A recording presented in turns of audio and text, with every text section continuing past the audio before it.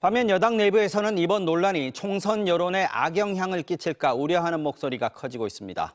이 전 장관의 호주 대사 임명을 철회해야 한다거나 지금이라도 불러들여야 한다는 요구도 나오는데요. 특히 팽팽한 승부가 예상되는 서울과 수도권 출마자 중심으로 비판이 커지고 있는데 지도부는 문제될 게 없다는 입장을 지키고 있습니다. 이남호 기자의 보도입니다. 민주당에서 여당으로 옮겨 대전에서 6선에 도전하는 이상민 의원이 포문을 열었습니다. 대통령실이 무모하게 무턱대고 이종섭 대사 임명을 밀어붙였다고 비판했습니다. 호주대사 철회를 하는 것이 마땅하고 사전에 그런 일이 없었으면 제일 좋겠지만 그런 일이 생겼다면 한다면 음, 음. 사후라도 음. 빨리 바로잡는 것이 필요.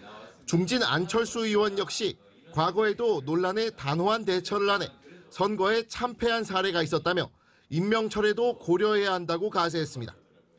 공천 초반 한동훈 위원장 등장 이슈와 야당 공천 갈등에 반사 이익을 받지만 최근 당내에서도 불거지는 공천 논란과 함께 이 대사의 부임으로 인한 여론 악화를 우려하고 있습니다.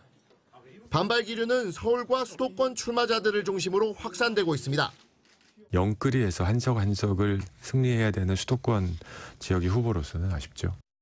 좀 깔끔하게 여기서 정리를 하고 어, 또 부임을 했으면 네, 어땠을까 하는 아쉬움이 있는데 국민들의 민심에 반응하는 모습을 당연히 보여야 되는 것이고 네. 국민들의 우려를 해소시켜 드려야 될 의무가 있다고 봅니다.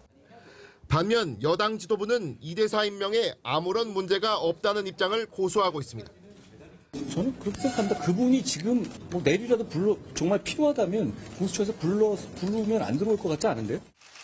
민주당은 이 대사 임명 과정 전반을 밝혀야 한다며 국회 외교 통일위 소집을 요구했지만 여당 반대로 무산됐습니다. 국민의 눈거기를 가려 사건을 호도하고 시간을 벌려는 수작을 멈춰야 합니다.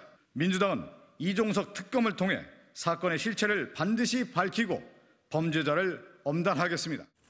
국민의힘은 오늘 처음으로 총선 상황 점검 회의를 개최했는데 이 대사 관련한 대응 방안이 논의된 걸로 알려졌습니다.